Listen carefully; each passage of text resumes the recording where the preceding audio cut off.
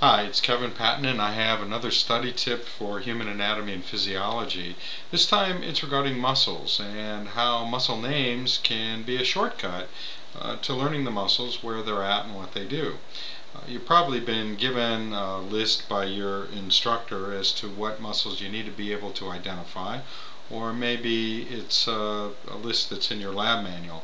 In any case, once you look at all those muscle names, it looks like a lot of gibberish, doesn't it? Looks like it's written in a foreign language. Well, you know what it is.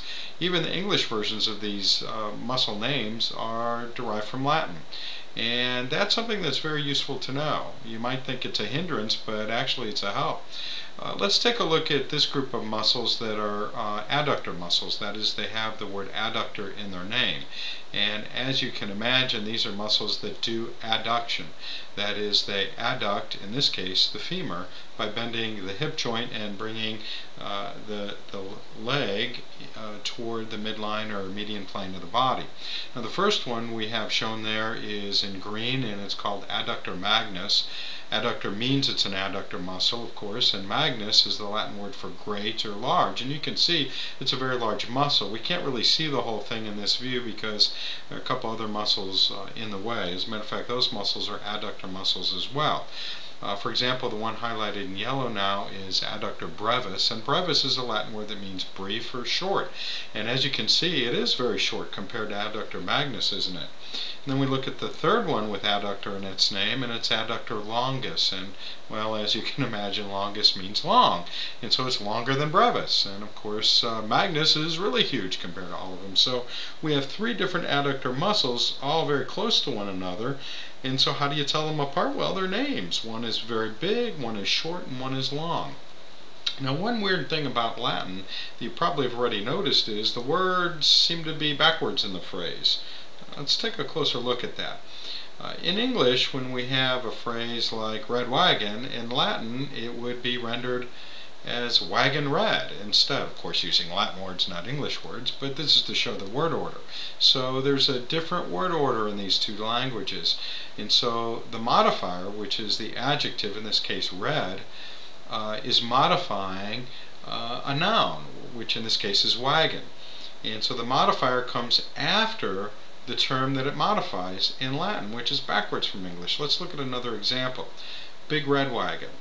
Uh, in Latin, that would be rendered as wagon, red, big. So the modifiers come after the term that's being modified. So let's apply that to one of these Latin names, like, ooh, here's a long one, extensor carpi radialis brevis. That sounds like a mouthful, but it's really kind of a whole phrase or sentence in Latin. And uh, extensor, of course, is going to extend a part, uh, uh, that is, stretch it out. Um, and carpi means of the wrist, remember carpal bones or the wrist bones. Radialis in this case means pertaining to or near or at the radius bone of the forearm. And then brevis we already know means short. So if we put that all together and translate it into a good English word order, it means the short wrist stretcher at the radius, which tells you an awful lot about that muscle, uh, where to find it and what it does. Now there are some other names of muscles that are not whole phrases but describe some aspect of the muscle like the gracilis muscle um, shown here. We see uh, it's a uh, muscle that uh, is a long slender muscle and that's what the term gracilis means is slender. Um, so the gracilis muscle is the slender muscle uh, another mnemonic device you might be able to use is graceful. It's a long slender graceful muscle Here's another one with a kind of odd name, but when you translate it into Latin, it makes a lot of sense. Uh, the uh, buccinator or buccinator muscle is a muscle of the cheek, and it's called the trumpeter muscle. Uh, and that's because when you're blowing a trumpet, you really need to use this muscle to compress the air in your mouth and uh, thus push it into and through the trumpet. Now, where are you going to learn all this stuff? You know, how you know you have maybe haven't taken a Latin class, probably have not taken a Latin class, or two or three. And so, you know, how are you going to figure this out? Well, I suggest the uh, survival guide uh, for anatomy and physiology, and if you use this uh, little um, uh, link here. Uh, you can type that into your browser and get to a description of that book. And I not only explain how to do this, but I give you some tables on um, how to do the translation.